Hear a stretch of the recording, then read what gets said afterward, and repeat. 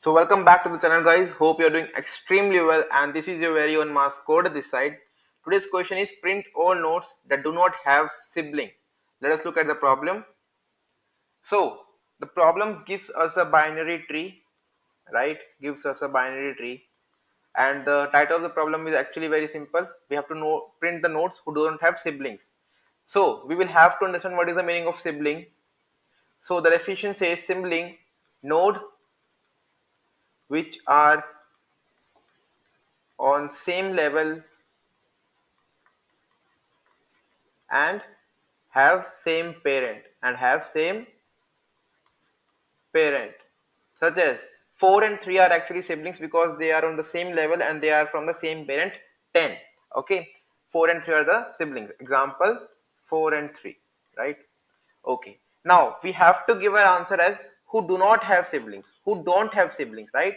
So they don't have siblings. Like what are the elements we don't have sibling here? So it is 6 here. One is also not having any sibling. Oh one is having a sibling 10 okay so one is not the answer here. Let me remove it for you. Yeah one is not the answer here. Now 2 is also a node which do not have any sibling. Similarly 8 is also a node which do not have any sibling because it doesn't have a right right right sibling okay and I think all other nodes have siblings. 3 has a sibling 4 4 has uh, 10 has a sibling 1 7 has a sibling 9 etc etc right? So my answer will be 2 8 6 right? 2 8 6 how will I solve this problem? So the approach is actually very simple for the code. My approach will be the similar approach that I used to solve the binary trees. Whenever I see the question of trees I usually go by a traversal technique at first. Traversal technique same is with, same is with the graphs also, but we are talking about trees, so let us focus there only. Same is with the tra I go with the traversal. For example, I go with the pre-order traversal here. I go with the pre-order traversal here. Now, if I'm seeing I'm currently standing in the node number 10, I can see 4 and 3 are there. 4 and 3 are present there. Now, can I say like how can I determine this this node is a pair is is a is does not have a sibling. Suppose this is not x, right? This is not x and this is coming from a node y right? I cannot tell anything about y if i'm standing at y. But i can tell about anything about x if i'm standing at y. What i'm saying is if i'm standing at y if i am standing at y if i'm standing at y i can tell that if x is a x is a valuable node x is a valid node okay x is a valid node. How can i tell? I can say i will check y left i will check y left. Let us name it as a. I will check uh, b uh, y right right?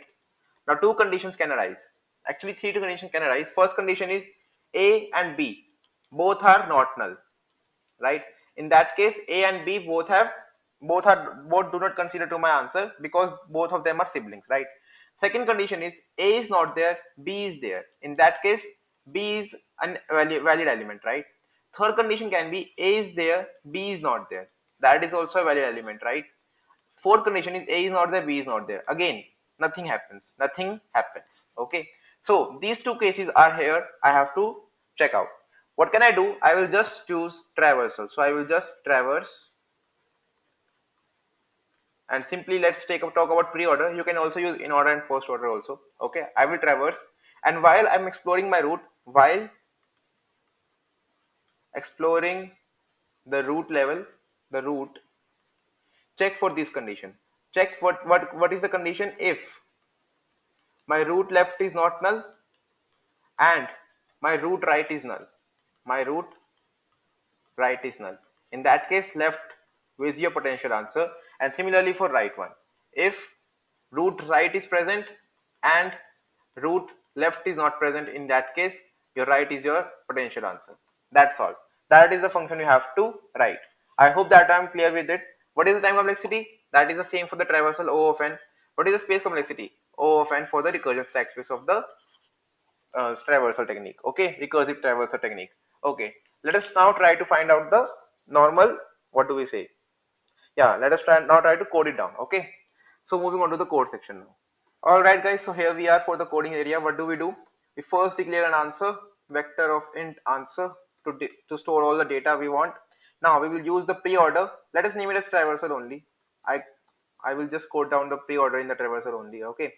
And send your answer by reference. And now if your answer dot size is equals to equal to 0 it has been mentioned in the question if there is no element which does not have a sibling return minus 1 i will say answer dot push back minus 1 and it is also mentioned that I have to provide the nodes in the sorted that is increasing order. So I will sort the answer. So answer dot begin till answer dot end. All right. And now return your answer. Okay. I just have to code the traversal now. So void traversal which is taking my node star node with vector of int by answer by reference. Now it will only do the operation if my node is not null. In that case I will first explore the node that is if nodes left is present and nodes right is absent. In that case answer dot push back nodes left data. Similarly if nodes left is not present nodes left is not present and my nodes right is present nodes right is present. In that case, answer dot push back nodes right data.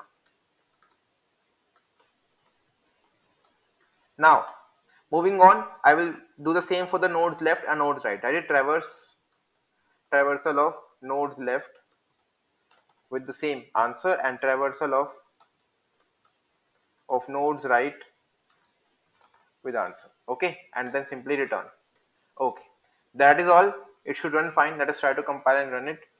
In the meantime you could please consider subscribing to my channel. Hope it will run fine and it is taking a long longer time than usual. Yeah it is running fine for the compile and rest case. Let's try it for the submit as well.